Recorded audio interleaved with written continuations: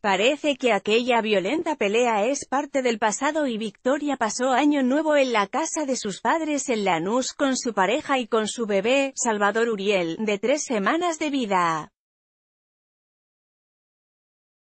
Feliz año para todos, escribió la rubia en una historia de Instagram junto con una foto de ella con su hijito en brazos, su mamá, su papá, su hermano Nicolás y su esposo.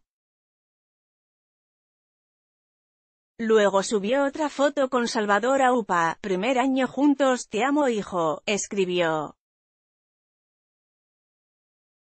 Durante los primeros minutos del 2019 posteó una producción de fotos que realizó con el pequeño, especialmente para darle la bienvenida al nuevo año, vida nueva. Les deseamos feliz año a todos, los queremos mucho.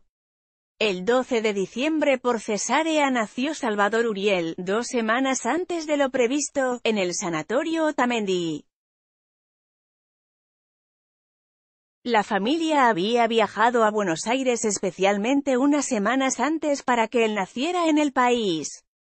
El cuento de hadas de Vicky parecía desmoronarse hace dos semanas.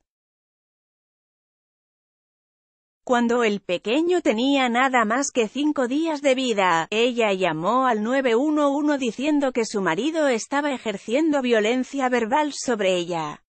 Al día siguiente prefirió no denunciarlo y se encontraron en la clínica donde el bebé tuvo que hacerse un chequeo médico. De ahí en más no volvieron a separarse y recibieron el 2019 en familia.